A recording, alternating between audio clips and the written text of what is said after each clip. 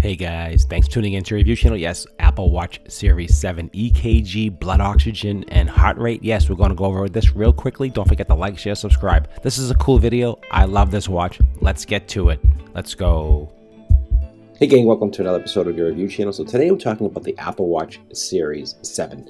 So if you don't have the Apple Watch Series 7, I definitely recommend getting it. It has a lot of cool new features that I really like. Two big features that I really want to talk about is um, the oxygen sensor and the EKG. Uh, so there's two different really awesome, awesome features that you really should know about. And how to activate them, they're pretty, pretty simple. So you have, I have them set up here on my dial.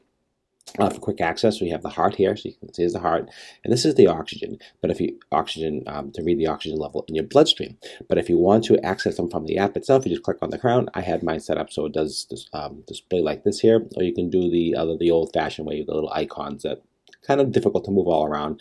I find this a lot easier. So you can find all this in your here. You can hit the heart right here. You can do that. Uh, EKGs in here as well. You can do that. But I actually elected to put them on the actual app themselves. So let's do a quick test um, so I can just show you how they work. So to access them to two different things. Uh, to access the watch, to do your oxygen, you just basically tap on the oxygen section here. Make sure your wrist is straight and flat. Don't touch it and just hit start okay and it does a 15 second countdown and actually reads your blood oxygen level in your system which is fantastic. I mean think about that technology. I mean you have to go to a doctor before. It's just crazy. Now you can actually get your you read your oxygen level in your watch and that's nuts. 99% that's great. So you can't go you can't get much better than that. i mean you can get to 100 of course. Uh, so blood oxygen that's super super important. Um, especially if you have some health issues um, another really big thing is, is the actual uh, the EKG. So the EKG is really kind of cool. The heart rate's really cool. So let's just do the heart rate. So do the heart rate. We just check check on the heart. Just test just tap on that, and then actually we'll read the actual your, your pulse um, and your heart rate. So that gives you a reading, uh, so you know how if you have any issues, you can just you get how it's racing. You can get an idea. So 78, that's pretty normal. So that's perfect that's easy. Uh, so let's go do the EKG. The EKG thing is just amazing. It blows my mind. Now, when you first set it up, it does tell you uh, don't rely on the watch for heart attacks. Um, you're signing up, you're kind of agreeing to like not hold them responsible. Um, if you're having a heart attack, I think you probably know it, and you probably should call 911 anyway. That's the first thing you should do. Forget the watch call 911. But this is really more for um, AFib. Um, so if you um, have AFib issues or if you're not sure you do, this will tell you if you have AFib. It'll let you know. It'll notify you, which is crazy. Uh, so that's another really cool feature. So let's just go to um, EKG. I'll just show you how that works. Let's find that. So click on EKG. Okay. So what that's going to do is basically you just put your finger on the crown. You don't have to press hard. You keep it there for 20 seconds. Now, normally you really shouldn't be talking. You should just let that rest some slow deep breaths slow deep breaths and just let it read so it reads your finger it is amazing how this can give you somewhat of an accurate um, outlook on your EKG. I was at my uh, doctor yesterday and I showed him this feature and he was actually blown away that it actually was able to do this without uh, actually putting like multiple leads all over your body. If you ever had if you ever had an EKG, it tells you. It is crazy. So here is the EKG, does not show any signs of fibrillation, our arterial fibrillation, which is called AFib.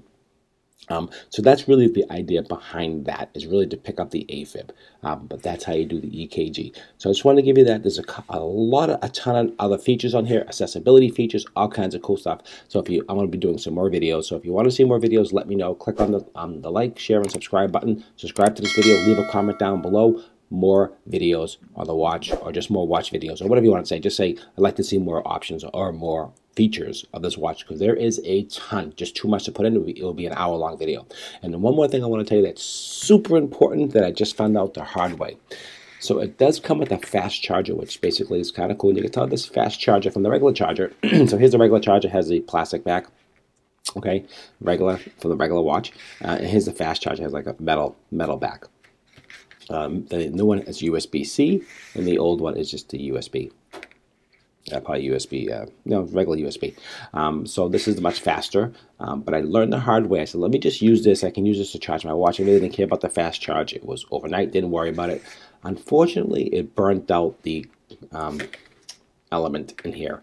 I think the watch was just pulling too much power, or I'm not sure what happened, honestly, but it burnt out the element in my original uh, watch um, base, um, so it killed this. So I recommend using the one that comes with it. Okay, it's USB-C. It's designed for the watch. There may be some other reasons why. If you guys know, leave some comments down below. Let me know um, if this happened to you. Um, but definitely don't use your old one because I think it just draws too much amperage maybe or too much current i'm not really sure and kind of overheated the element i guess burnt it out but it's dead so that's all i know and i, I, wasn't sure if it was a power supply i wasn't sure what it was and one more thing it does not come with the um, the charger itself the, the usb charger you have to have your own usb actual charger itself to plug into this as well so that is another eh, what are you gonna do? You have to, so I have to go buy one because I usually I have all the USB chargers, but I don't have a lot of USB C chargers. So eh, let's go out and buy some more USB chargers. This is the way it works with Apple. But love the watch, love the new face. This is the 45 millimeter, just so you know. Um, then I had the old watch was a 44. And another side note, all my old bands fit. So if you have a 42 millimeter band, uh, watch, don't throw them away because they fit on the 45. Now that's a really cool tip. I was just gonna, I was ready to get rid of them, throw them away, sell them. My wife go see if they fit.